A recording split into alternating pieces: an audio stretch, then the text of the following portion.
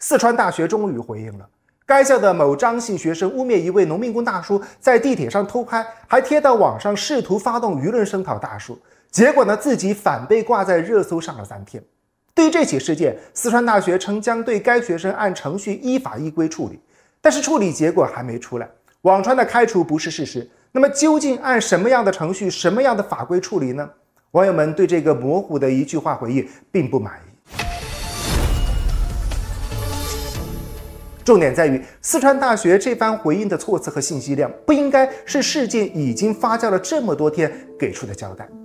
调查事情具体情况并处理这些事件刚刚引发关注的时候要做的工作。六月九号呢，学校就告诉媒体说正在调查，结果六月十二号呢也没有个说法。很多网友就想问了：那事情发酵这几天，学校在干什么呢？难道火都烧到自己身上了，还在隔岸观火吗？想了解更多相关资讯，请搜索“莫须有维权从来不是正义”，获取更多关联信息。十一号，当事人张姓女生在网上发表道歉之后，就出来了一个声音，呼吁公众接受并宽容女生的道歉，不要再声讨她。她还只是个学生，应该给她改过的机会。也有人说，现在的舆论就是在网暴这个学生，走到了另外一个极端。还有人呢，类比了此前武汉校内被撞小学生的母亲遭遇网暴坠亡的事儿，认为现在舆论不依不饶，打在涉事女生身上的鞭子实在是太重了。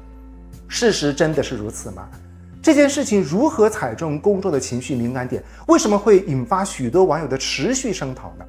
除了大叔并没有偷拍当事女生发帖属于污蔑的这个事实以外，还有几个点引人关注。首先，污蔑被揭穿之后，该女生并没有认错道歉的态度。很快，她又被人扒出来是新闻传播学的研究生，在多个社交网站上拥有社交账号，而且还会根据不同平台的受众看人下菜。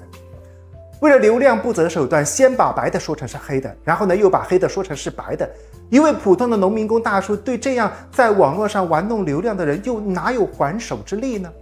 如果这次他的污蔑没被揭穿，以后会不会还有更多人成为受害者呢？而该张姓女生还是党员和高校研究生，所以网友们还很担心，心术不正的人如果进入了媒体队伍，又会给舆论场制造怎样的混乱呢？